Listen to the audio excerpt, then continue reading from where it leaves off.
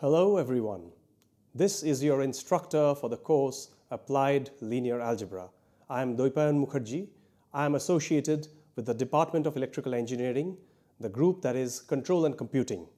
The course that I'm about to deliver to you now is a core course for our postgraduate students, that is our MTech students, as well as a very useful course for all our PhD students, particularly from the communications group as well as from the control and computing group. So what do we do in this course? Uh, to summarize briefly, this is a second level course for undergraduate students as well, as we see a good number of undergrad students also crediting this course. Even if you are not very familiar with the basic tenets of linear algebra, but are somewhat familiar with matrices, that is still a good place to start on your journey in this course. So what do we do? This is a slightly more abstract take on matrices and vectors that you're also familiar with in the context of Euclidean spaces. So we look at more abstract objects such as rings and fields to start with. However, we never lose sight of the basic principles that you already are aware of, which are matrices and vectors in Euclidean spaces. However, all our proofs, all our ideas are related to more abstract objects such as more abstract vector spaces, some of which could even be infinite dimensionals. Speaking of which, we give you a much more formal definition and take on what these ideas of dimensions are, basis, what is a basis that is, how linear transformations can be represented as matrices through some coordinate representation, and we show you essentially some unknown objects in terms of known objects. That is the goal of this course. So you might ask, where is this application part coming in? We do not delve into specific applications as such, but by the time we are done with this course, you shall be in a very good position to apply the concepts that you learn during this course to whatever your domain is. That is our hope. We embark on a journey towards linear transformations. We see the celebrated rank nullity theorem and its proof. Essentially, most of the results that you will see will come with rigorous proofs. All right. So if you're a researcher, who reads research papers pretty often but find it a little tiresome to wrap your head around the proofs, this is a course for you.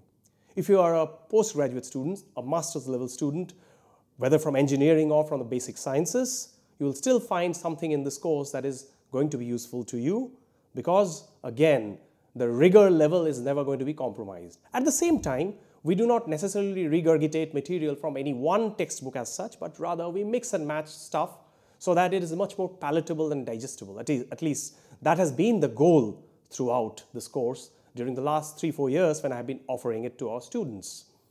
So by the time we are done with this course, you will be familiar with not just how to get the Jordan canonical form of a matrix, but also why the Jordan canonical form must exist.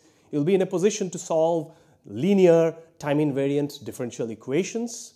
You'll also be in a position to apply the ideas of best possible approximations using the ideas of inner product spaces.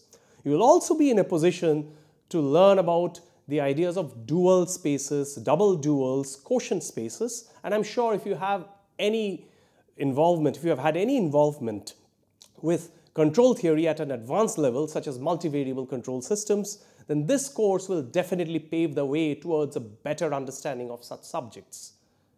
If you're from a communications background, from signal processing, even then, you will find the contents of this course very useful. If you're from the industry, but you are actively involved in research, I'm sure you'll have to read papers pretty often.